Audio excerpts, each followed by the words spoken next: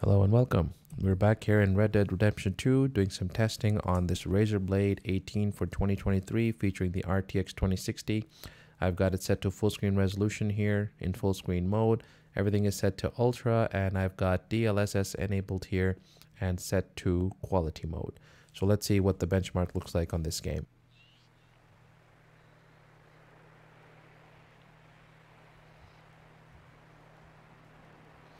Have I mentioned to you how good this game looks? I'm still really impressed by the graphics. I don't know when this game came out. I think circa 2013 or 2015, maybe something like that. It's been a few years for sure, but this game was very, very impressive. Or maybe 2018. Was it as late as 2018? I'm just going to check on my phone here. When did this game release?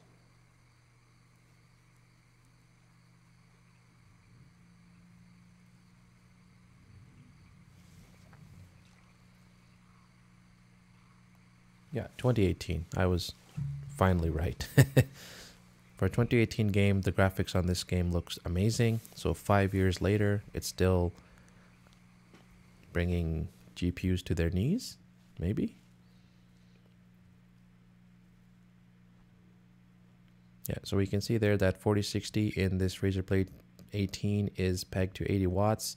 It does not go above that. There may be a blip here and there where it does, but I'm assuming this is probably artificially limited so that they can drive you up to the higher price models with the 4080 and the 4090. Don't get the 4070 this year, skip it. The delta between 4060 and 4070 is just so little, it isn't worth it. Uh, the, on the plus side, this laptop in balance mode runs fairly quiet. So as I'm running this game here and I've been testing for quite a bit, the fans are audible, but very, very low noise. So they are not annoying at all.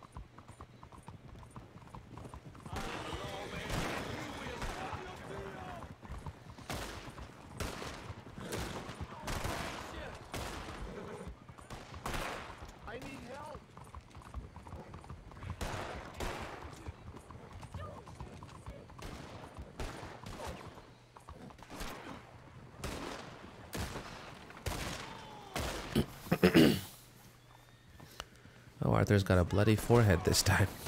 if you run this benchmark as many times as I have, you'll realize that sometimes he tramples a lady as he's making his getaway from robbing that store on his horse. Other times he gets bloodied halfway through.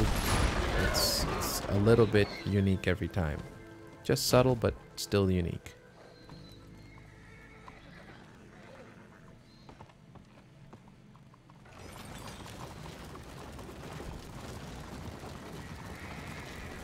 It looks like he's got a gunshot wound to his back.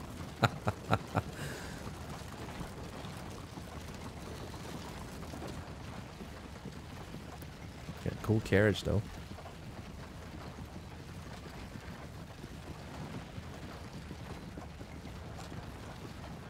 off into the sunset you go, Mr. Morgan. Okay.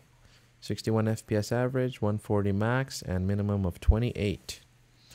All right, I'll be right back with the same benchmark, but without DLSS this time. Let's see what the rasterization performance is of this 4060. It seems to be pinned to 80 watts, not really going above that. That is the performance level you're going to get from this laptop. All right, let's jump into the settings here. We'll turn off DLSS and then see how the 4060 in this Razer Blade 18 for 2023 performs without any kind of magic help from algorithms to help smooth things out. Okay, let's run the benchmarks, please. Yes.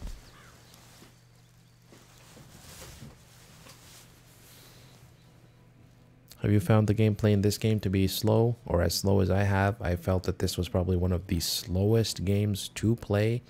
I've played in a long time. GTA 4 was quite fun. I, I liked playing that game back in 2013 or maybe even older than that. I don't remember now. But uh, Grand Theft Auto 5 was also fun. I loved the opening scenes. The first hour or so of gameplay of that game felt literally like playing in a Hollywood movie, big budget Hollywood movie. Um, played that game quite a lot. I also own it on multiple, multiple, multiple systems. So I have it on my console and I also have it on my PC. I originally played it on PS4, then played it later on PS5 with all of the updates and the new texture packs.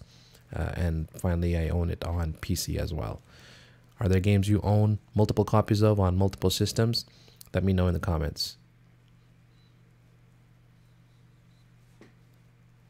Yeah, you can see here that the RAM usage on this device is, is really hitting that 16 gigabyte limit.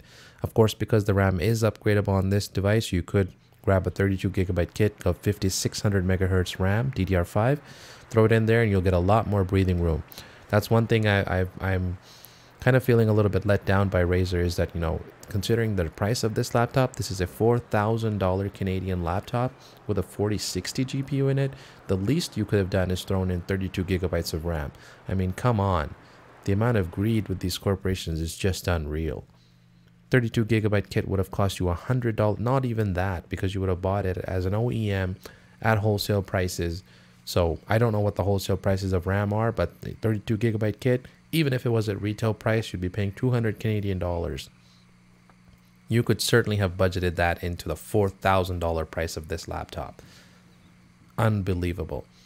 Because now that means I have to go and buy a separate kit, pay for it out of pocket. My 16 gigabyte kit becomes pretty much useless. I'll have to sell it to, for pennies on the dollar on, you know, some uh, third party site or maybe Facebook Marketplace add another $200 on top of the cost of this laptop already, and then go through the hassle of opening it up, you know, and getting into the chassis and then replacing the RAM.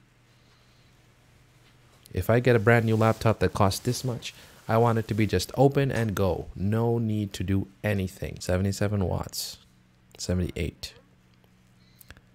Yeah, I think this is artificially limited to 4060, uh, excuse me, 4060 to 80 watts because I've seen reviews on other laptops where the 4060 can stretch its legs all the way up to 140 watts. That's the max TGP that's been set by NVIDIA, but of course it's left up to every manufacturer to tune and select the TGP for their device and based on their thermal solution.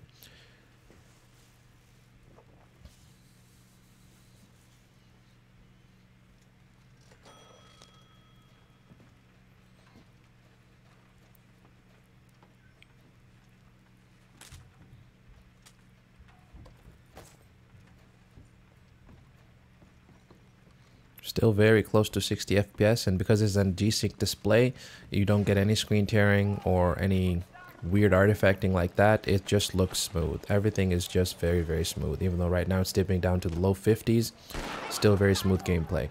In my previous run of that benchmark as you headed out that door that lady was not in the way There is a little bit of variability to the NPCs in this game. If you rerun the benchmark again and again, you'll notice that. It's, it's quite funny since I've run this benchmark now dozens of times.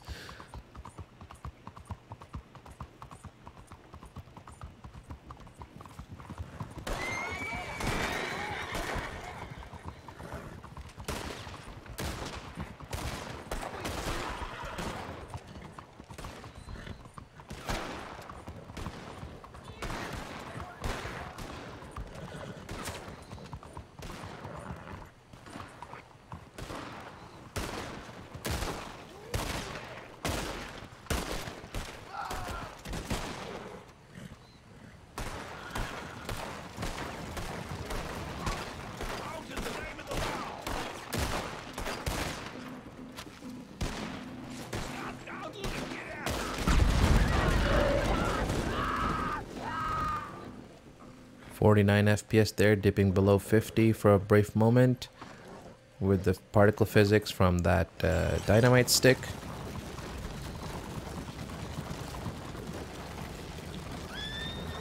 Oh, looks like one of the horses didn't die that time.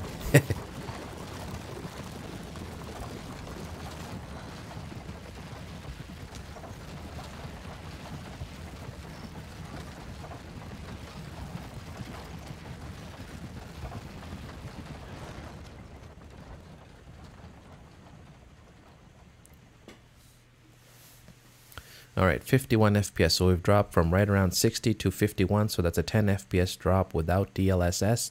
It is a fairly significant, I would say, improvement. That's about 20 to maybe 25% performance increase with DLSS turned on. It brings it right to that 60 FPS sweet spot.